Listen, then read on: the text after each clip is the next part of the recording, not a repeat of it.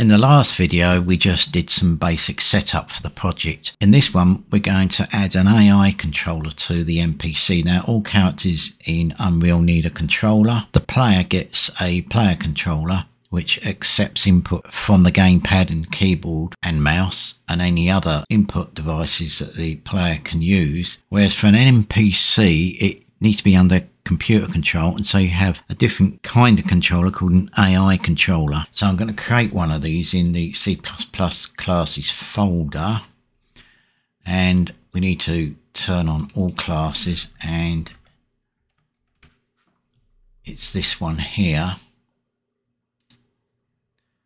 So that's what we inherit from. We inherit from AI controller and I'm going to call it NPC underscore AI controller. Notice that when you create these classes, you just give the name of the file, which in this case is npc underscore AI controller .h and .cpp and the Unreal editor adds a sort of a prefix on the front. In the case of this class, it's got an A and its parent has also got an A on the front. Some of the ones we're going to be creating later on will have a U on the front. So don't put this A on the front or the U. Before we continue, we need to sort out the link. Now they are using C sharp as a build system. So if you open up this CPP AI tutorial.build.cs, we've got this bit of C sharp and I need to add things to this. So in here in this public dependency module names, they've got the current modules that are being used in the project and these are needed to resolve external references for the linker. If you don't put stuff you need in here, you'll get link errors. It will compile but not link. So if we're getting link errors, this is the reason why. And we need some extra modules. You may wonder how you work out which ones to include well, if I go to the online help, you can just Google the class you're interested in. In Google, of course, it will eventually get you here. I've got the AI, so the AAI controller class, and in the references section, you can see there is a module entry and it's telling me I need the AI module. So you haven't got that in the CS build, you haven't got that in the build CS file, you'll need to add it we also need the navigation system because we're going to add a nav mesh bounds volume, I think it's called, which is basically a, a volume which determines where the NPC can move to. It won't be able to move outside of that defined area. So in the NPC header, I'm going to add a U property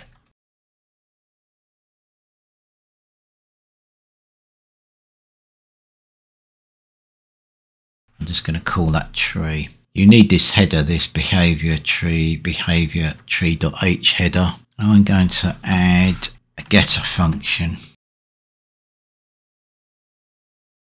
I'll need to implement this. Okay, this is for thinking ahead. We haven't set this tree up yet, but in the controller, I need some declarations. So this is in NPC underscore AI controller. I need the constructor.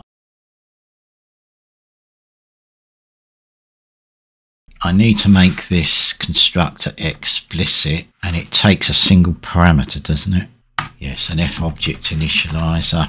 In Rider, if you click on the class name, press Alt Enter, you can generate overridden members. So on possess,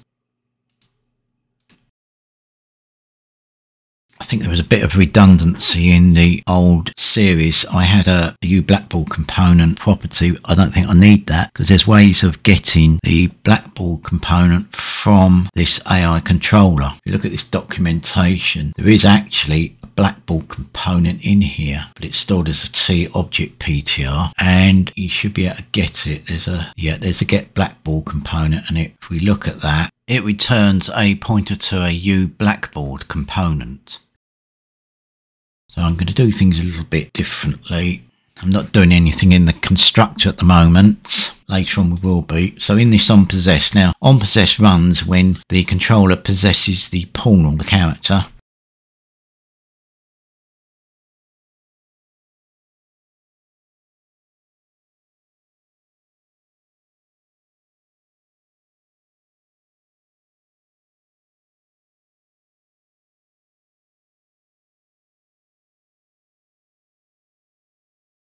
Okay, a little bit of explanation is required.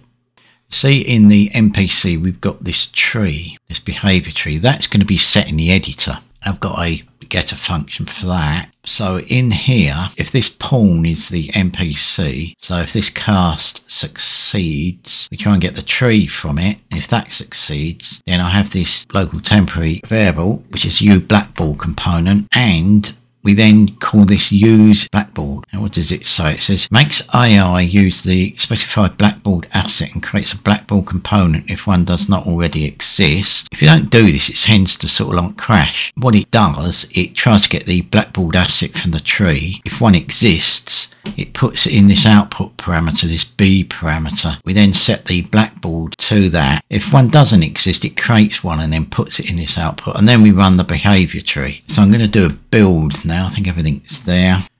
So that was a success. That will be all for this video. In the next one, I think we're going to be doing the behavior tree.